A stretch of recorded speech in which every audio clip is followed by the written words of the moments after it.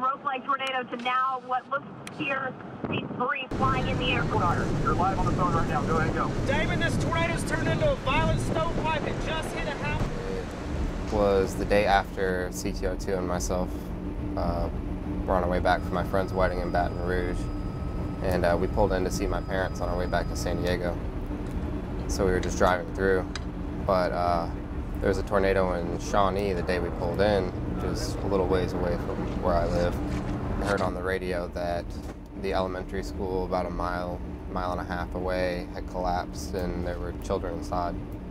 So uh, it was my dad, my dad's neighbor, Ronnie, uh, my dad's best friend, Craig, and Gara and myself uh, all went up to the school. And that was what uh, that was what Craig and my dad you know, they were the ones that said that we had to get up there. So we got in the truck and drove up there just to help out with the first responders and all the relief efforts and everything.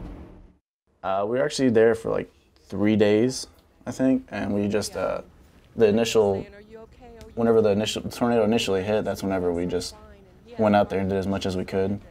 But I still feel like, you know, like I could have done more just to, you know, just like there's there's always that, that feeling you're gonna get like you wish you did a little bit more to kind of earn that.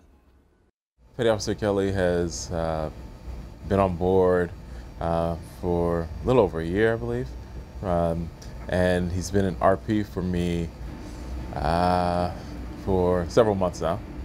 Um, and he's hardworking, and he volunteers to help out um, wherever uh, additional collaterals are needed.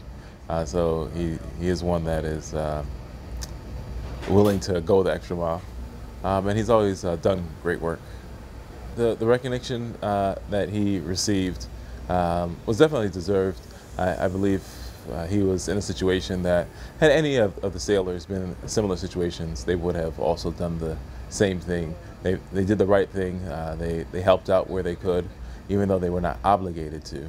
Um, and their service made a difference. Actually, Pastor Gara is a very professional sailor. He always takes care of the tasks that he's assigned with and uh, ensures that the job's always complete correctly in the first time. Uh, I think that the re recognition that he received for his actions in Oklahoma were uh, very suitable for, for what he had provided, as well as uh, it does not surprise me that he took the necessary actions that he needed to, to ensure that other people were taken care of as well as the safety of you know, himself and the other people he was with.